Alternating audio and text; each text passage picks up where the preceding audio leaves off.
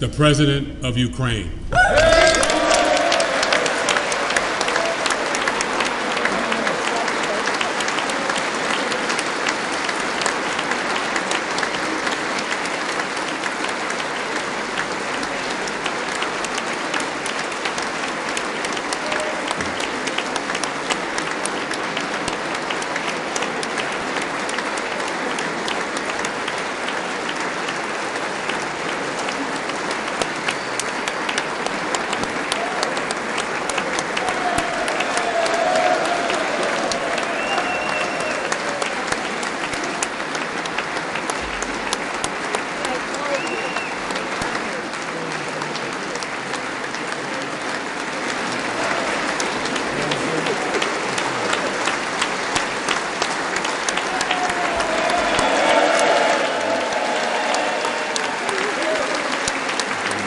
Thank you so much.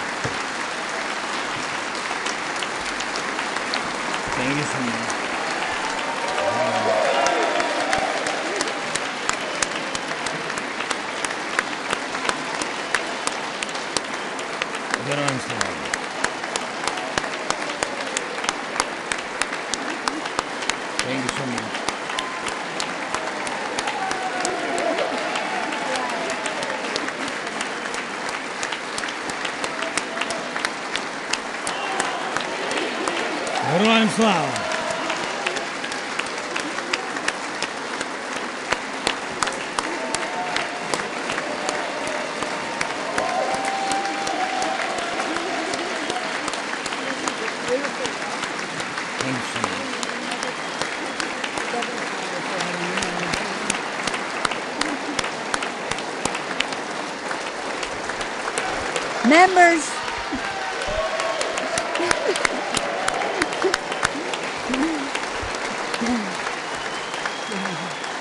members of Congress, I think it's too much. I think it is. Members of Congress, I have the high privilege and the distinct honor of presenting to you His Excellency Volodymyr Zelensky, President of the Ukraine.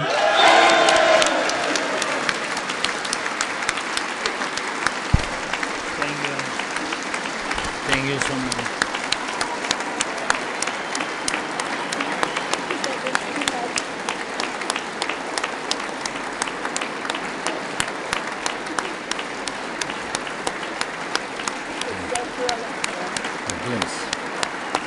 Thank you so much. That, thank you. It's too much for me. All this for our great people. Thank you so much.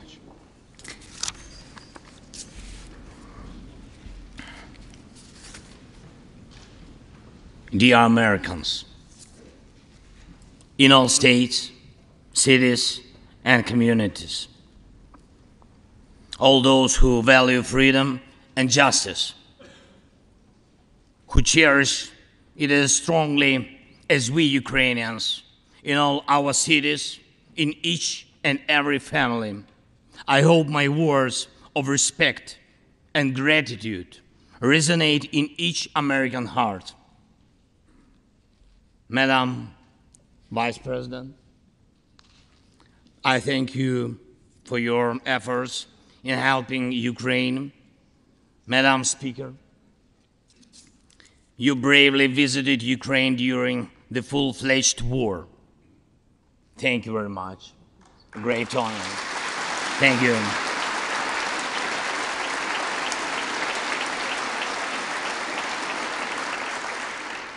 Great privilege to be here.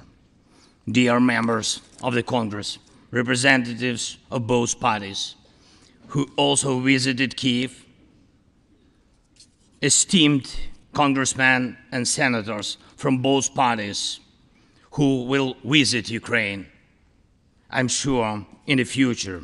Dear representatives of diaspora,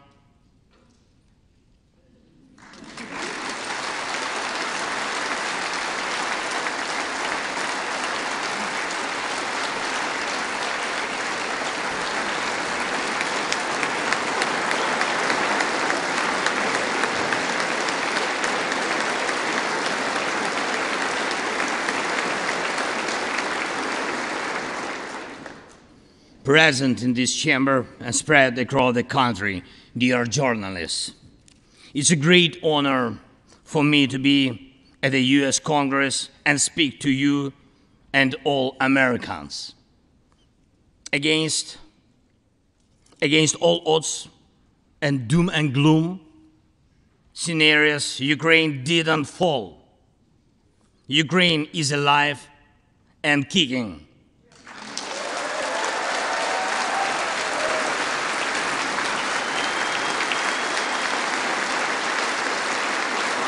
Thank you.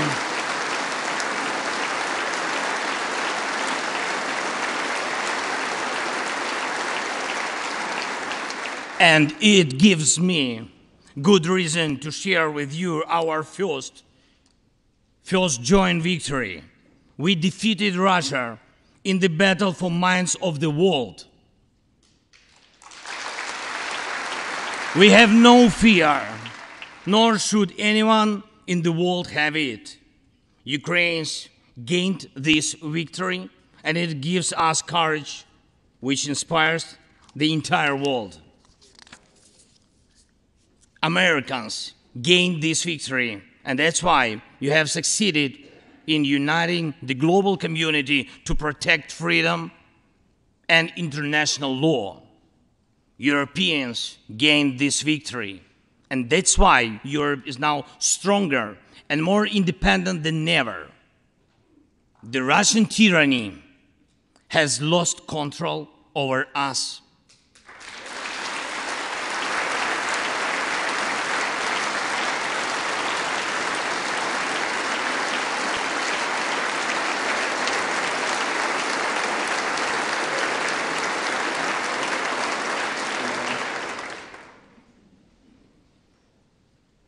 And it will never influence our minds again. Yet, we have to do whatever it takes to ensure that countries of the global south also gain such victory. I know one more, I think, very important thing. The Russians will stand a chance to be free only when they defeat the Kremlin in their minds.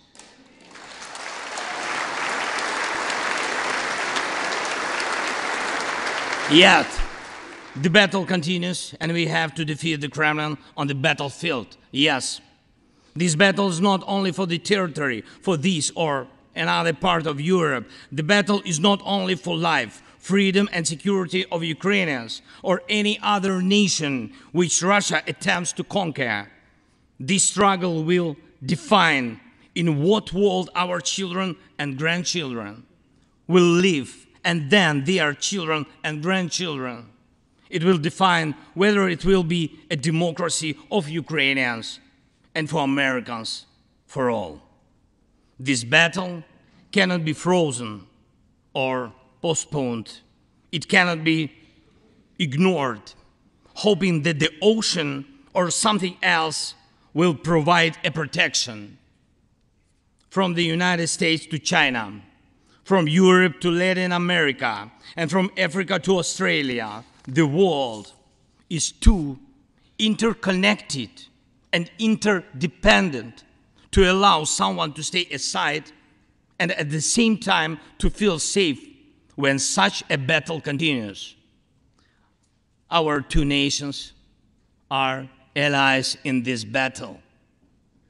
And next year will be a turning point I know it, the point when Ukrainian courage and American resolve must guarantee the future of our common freedom, the freedom of people who stand for their values.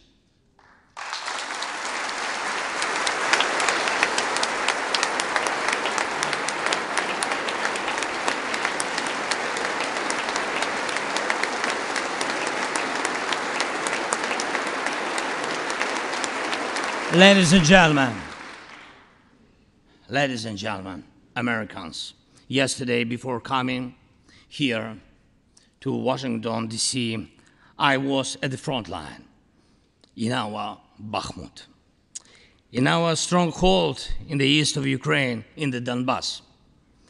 The Russian military and mercenaries have been attacking Bakhmut non-stop since May. They have been attacking it day and night, but Bakhmut stands.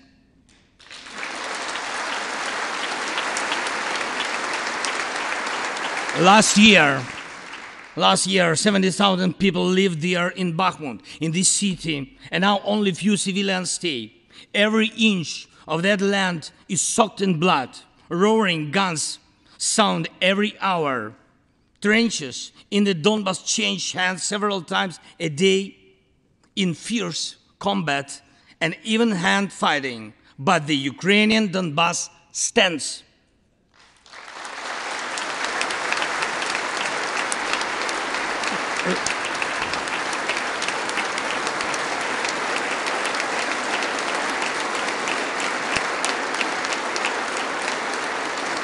Russians, Russians use everything, everything they have against Bakhmut and other our beautiful cities.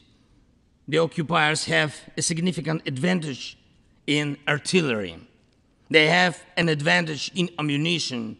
They have much more missiles and planes than we ever had. And it's true, but our defense forces stand.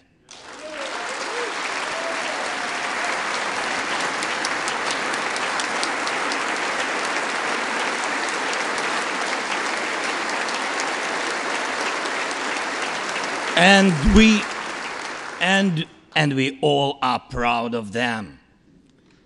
The Russians' tactic is primitive. They burn down and destroy everything they see. They send thugs to the front lines. They send convicts to the war. They threw everything against us, similar to the other tyranny, which is in the battle of the Bulge. Threw everything it had against the free world, just like the brave American soldiers, which held their lines and fought back Hitler's forces during the Christmas of 1944 brave Ukrainian soldiers are doing the same to Putin's forces this Christmas.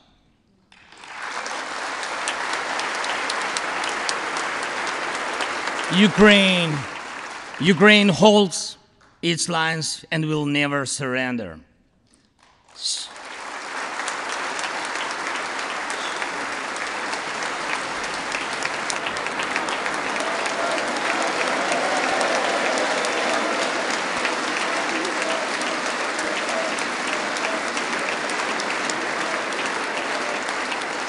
So, so here is the front line.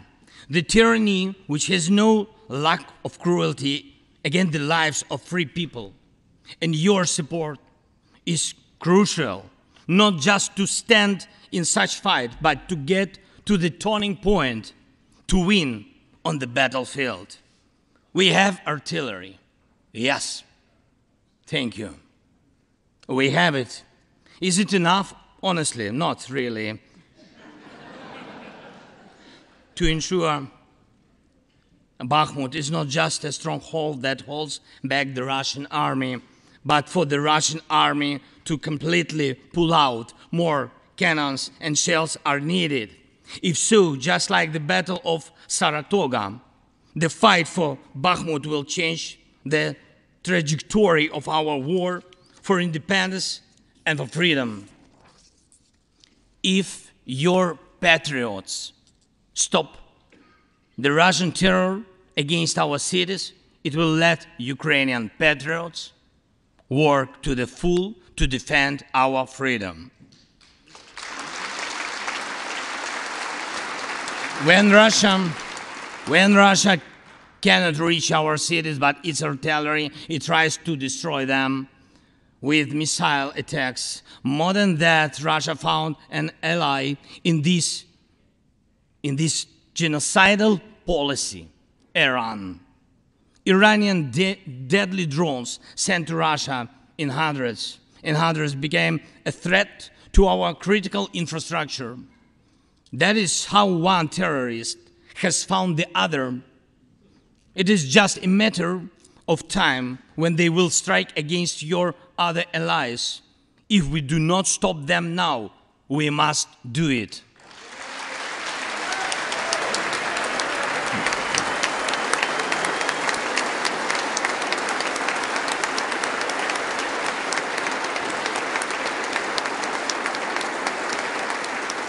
I believe, I believe there should be no taboos between us in our alliance. Ukraine never asked the American soldiers to fight on our land instead of us. I assure you that Ukrainian soldiers can perfectly operate American tanks and planes themselves.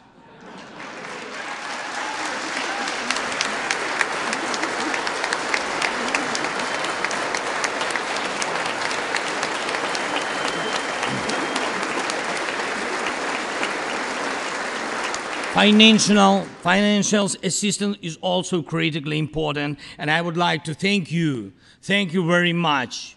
Thank you for both financial packages you have already provided us with and the ones you may be willing to decide on.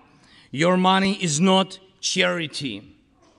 It's an investment in the global security and democracy that we handle in the most responsible way.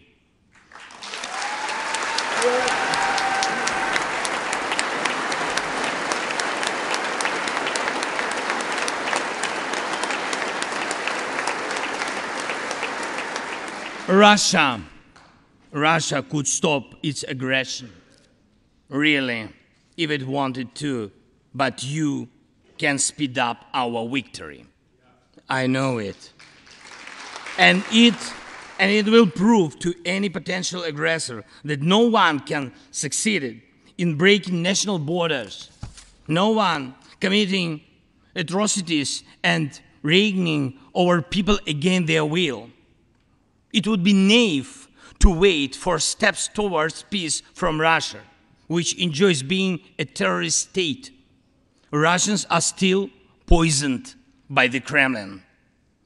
The restoration of international legal order is our joint task. We need peace. Yes, Ukraine has already offered proposals, which I just discussed with President Biden, our peace formula, 10 points which should and must be implemented for our joint security, guaranteed for decades ahead. And the summit, which can be held, I'm glad to stress that President Biden supported our peace initiative today. Each of you, ladies and gentlemen, can assist in the implementation to ensure that America's leadership remains solid, bicameral, and bipartisan. Thank you.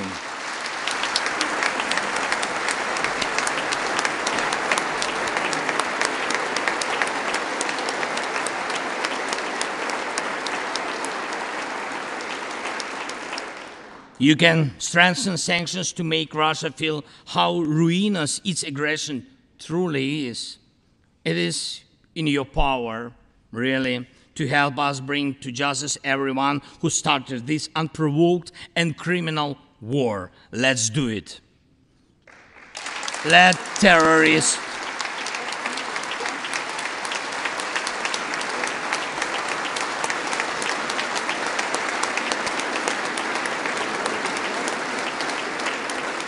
Let the terrorist state be held responsible for its terror and aggression and compensate all losses done by this war. Let the world see that the United States are here.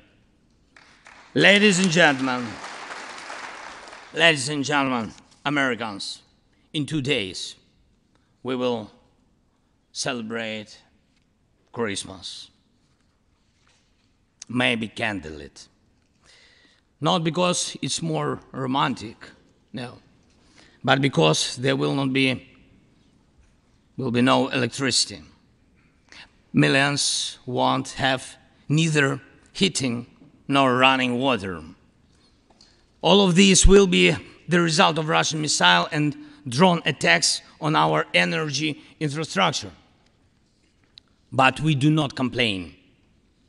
We do not judge and compare whose life is easier. Your well being is the product of your national security, the result of your struggle for independence and your many victories. We, Ukrainians, will also go through our war of independence and freedom with dignity and success.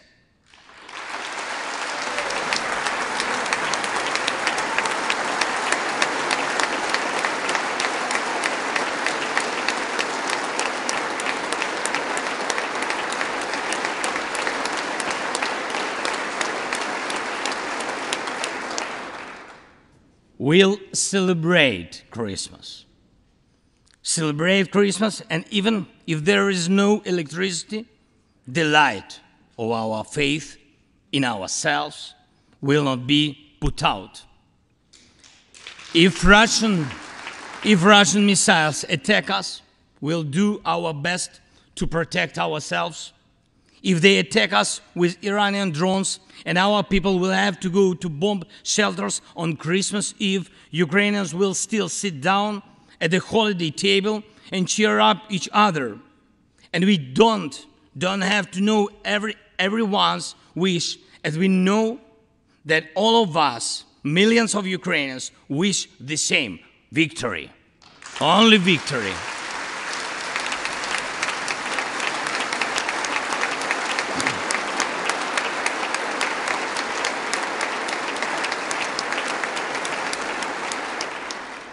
We already built strong Ukraine with strong people, strong army, strong institutions together with you. We developed strong security guarantees for our country and for entire Europe and the world together with you. And also together with you will put in place everyone who will defy freedom. Put in. This will be the basis to protect democracy in Europe and the world over. Now, on the special Christmas time, I want to thank you, all of you. I thank every American family which cherishes the warmth of its home and wishes the same warmth to other people. I thank President Biden and both parties at the Senate and the House for your invaluable assistance. I thank your cities and your citizens who supported Ukraine this year, who hosted our Ukrainians, our people, who waved our national flags, who acted to help us. Thank, thank you all from everyone who is now at the front line from everyone who is evading victory. Standing here today, I recall the words of the President Franklin Delano Roosevelt, which are, I think, so good for this moment. The American people, in their righteous might, will win through to absolute victory the Ukrainian people will win too. Absolutely.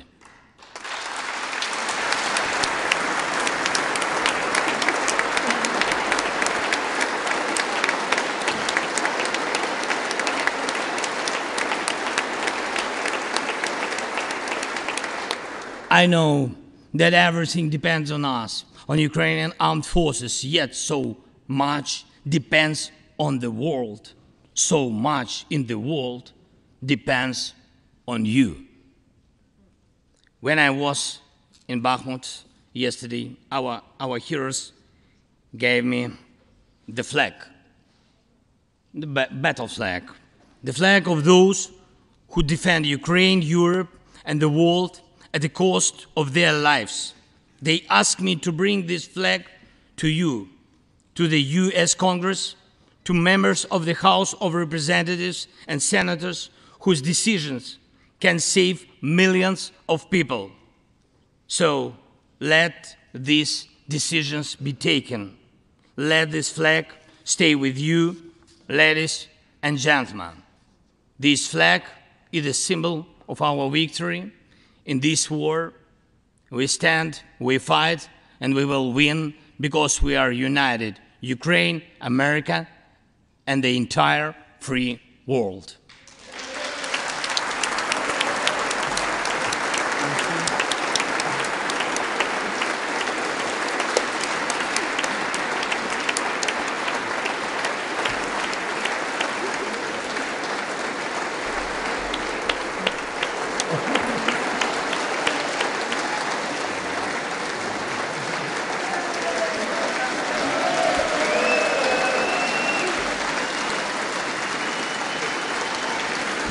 Just one thing, if I can, the, the last thing, thank you so much. May God protect our brave troops and citizens.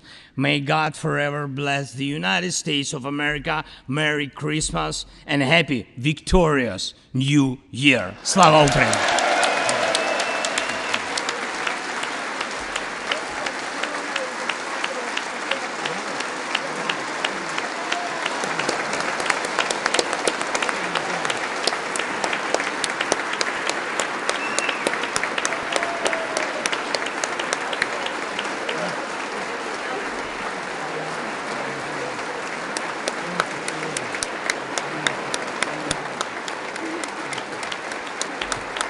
Thank you so much.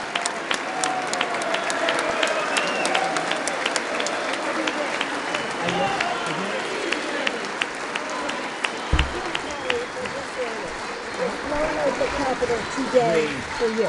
Okay, to me, Somebody will carry it. I can, I can hold. Okay. We're gonna turn around. Yes. There we go.